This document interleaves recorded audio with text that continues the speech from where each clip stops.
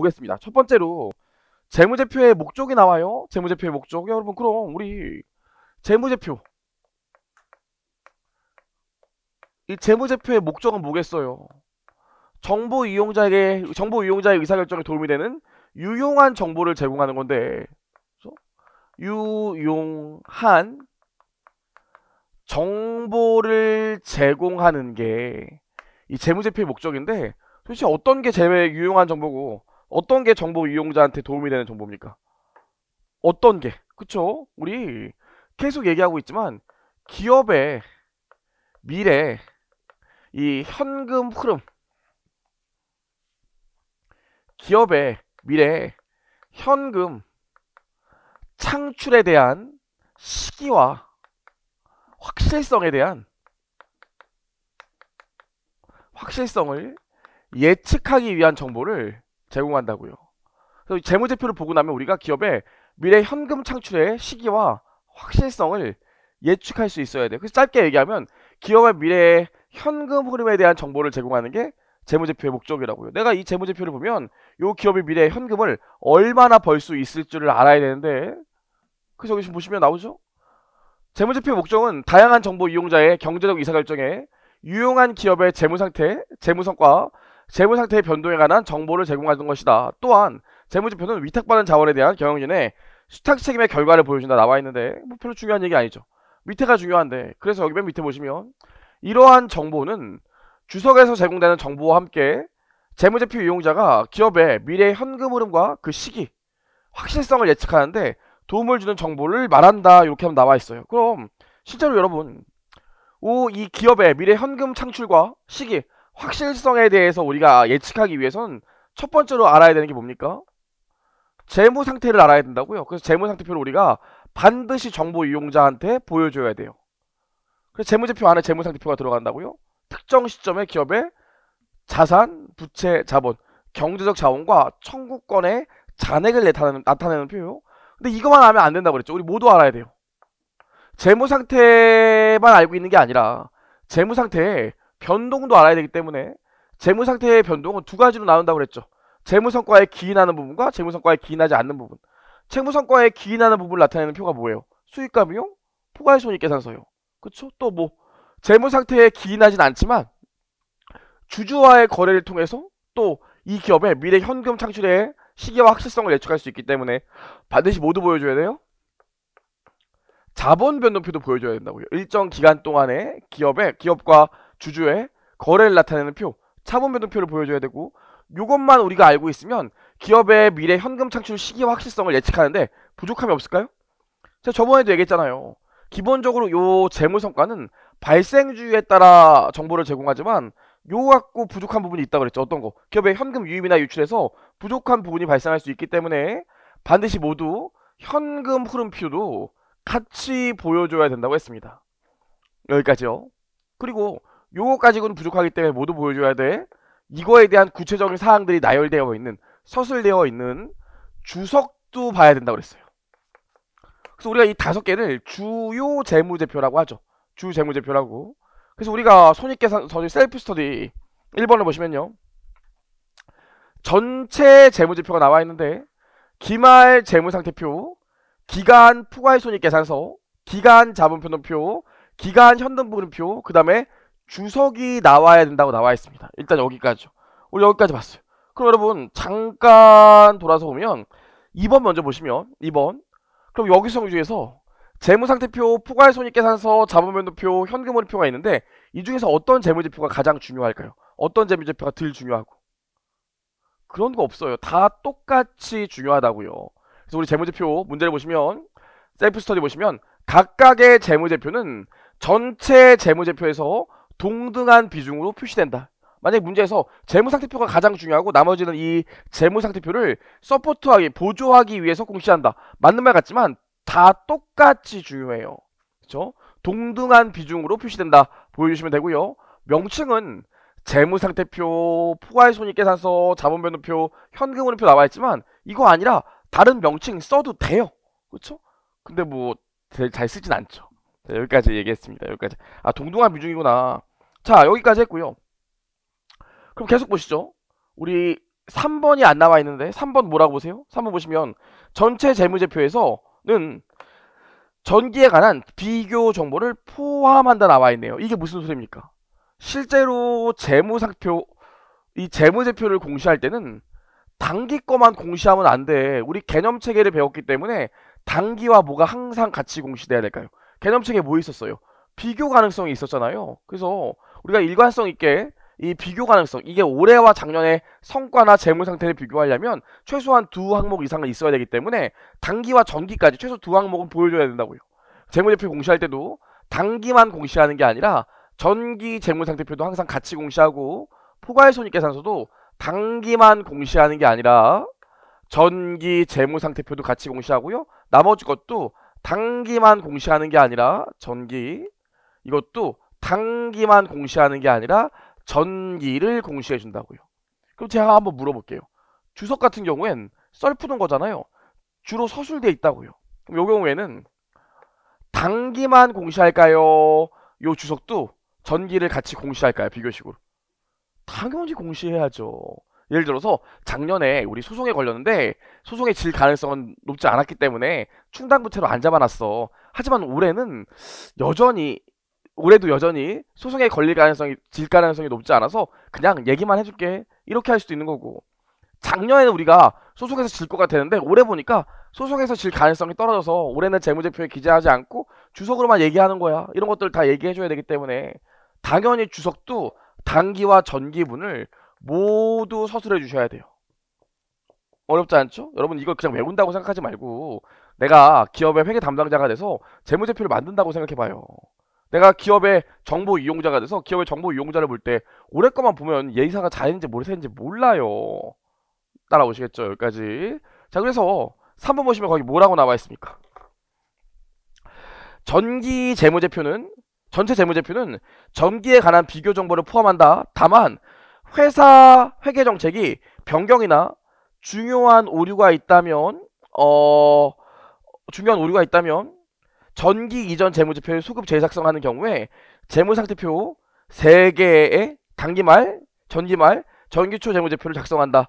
이렇게 나와 있네요. 이게 무슨 말일까요? 무슨 말일까요? 뒤에서 또 나올 건데 일단 여러분 거기다가 비교 정보를 포함한다에 주석도 포함이라고 좀 표시해 주세요.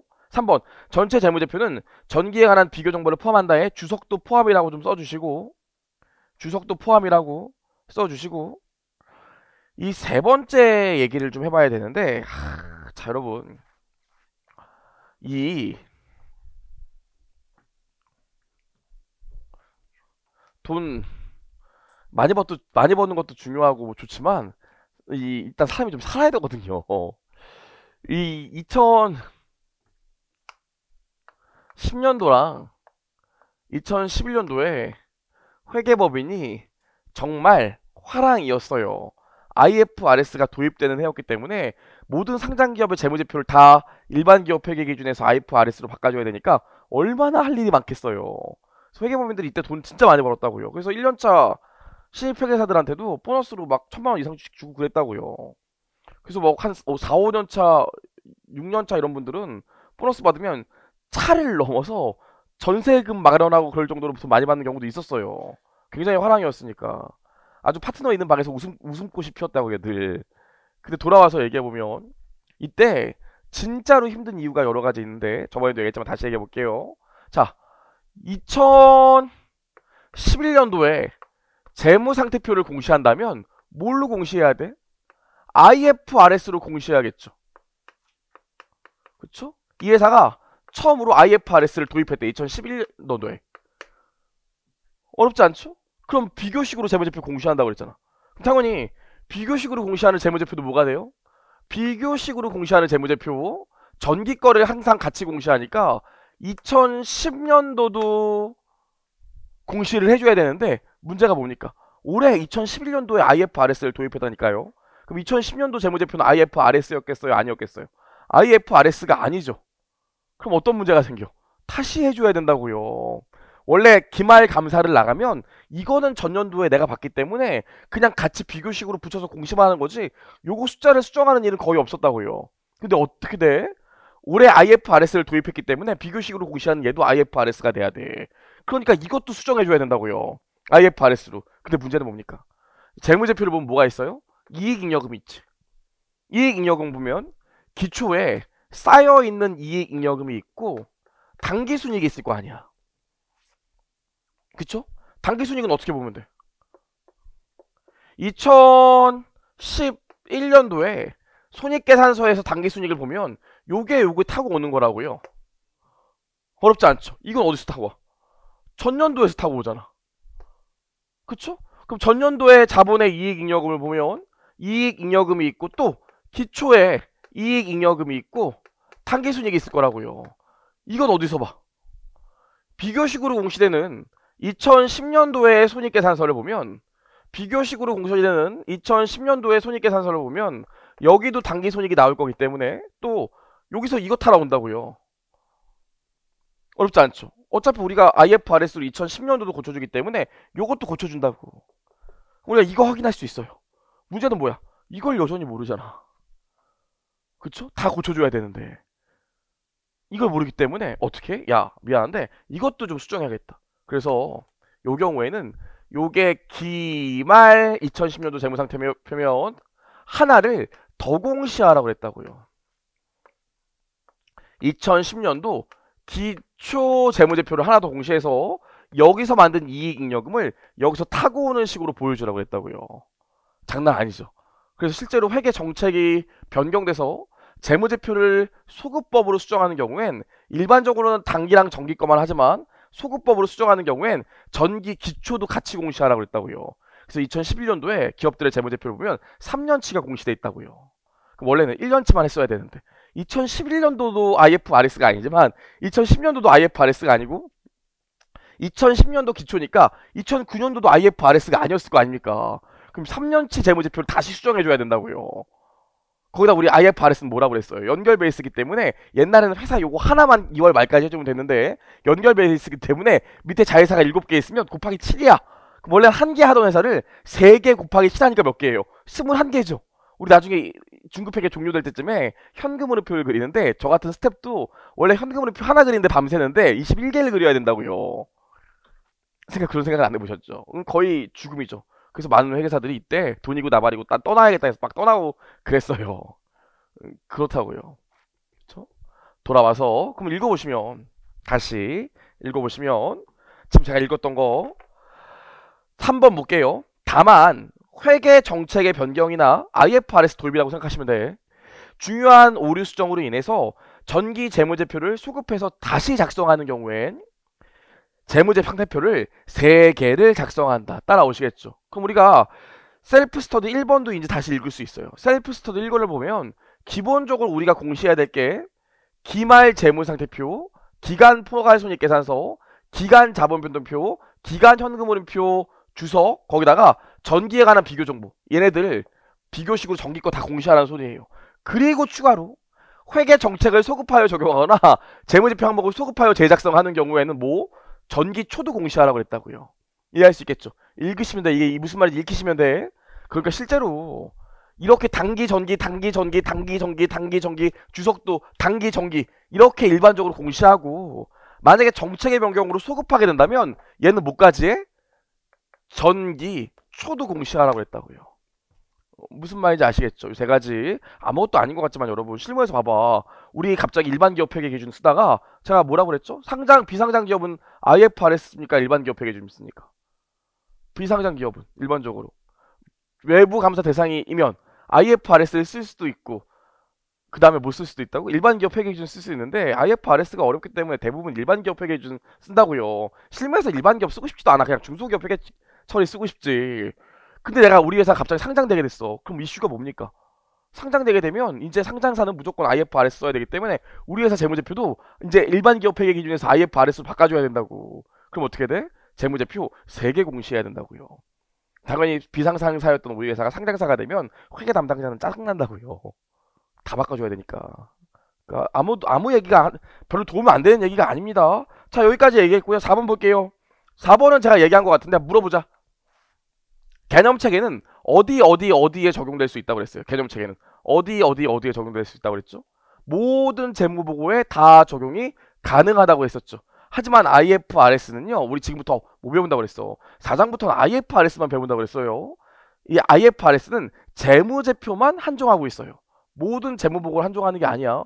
컨설팅 보고서, M&A 보고서 쓰는데 우리가 IFRS 적용 적용하는 기준 적용하는 거 아니라고요. IFRS는 뭐 재무제표에만 적용하는 거지 재무제표 외의 보고서에는 IFRS를 적용하지 않습니다. 따라오시겠죠? 무슨 말인지 IFRS만 쓰는 거예요. 여러분도 좀 아셔야 돼. 그쵸? 만약에 그 회계사, 세무사 하시고 전문가가 되시기도 하고 혹시나 지금 수업 들으시는 분 중에 나중에 회계 담당자로 가시는 분도 거래처, 나 회계사나 세무사, 회계법인이나 세무법인이 사기치는 경우도 많다고요. 아 이거 컨설팅 보고서 이것도 IFRS 적용돼서 단가가 비싼데 그러면 이 새끼가 어디서 사기를 해야 된다고요. 그쵸?